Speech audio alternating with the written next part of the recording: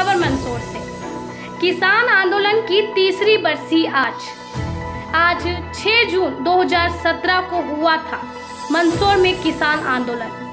छह किसानों की गोली कांड में गई थी जान। आज तीसरी बरसी के मौके पर सभी शहीद किसानों की प्रतिमा पर पुष्पांजलि कर किसान परिवार दे रहे हैं श्रद्धांजलि। लॉकडाउन के चलते नहीं हुआ कोई बड़ा आयोजन।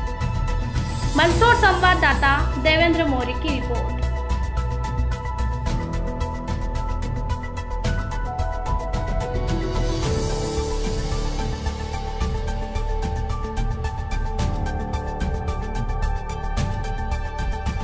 आंदोलन की तीसरी बरसी है, क्या कहना आपका? जो हमारे दो छः जून 2017 में जो किसान शहीद हुए थे, उचित फ़सल का मूल्य और समर, अपने स्वामीनाथन आयोग रिपोर्ट की 50 परसेंट मुनाफा के शहीद जो हुए थे, उनको आज हम श्रद्धांजलि दे रहे हैं। और ये जो आज का दिवस है 6 जून दो 6 जून हमेशा काला दिवस के रूप में मनाया जाएगा।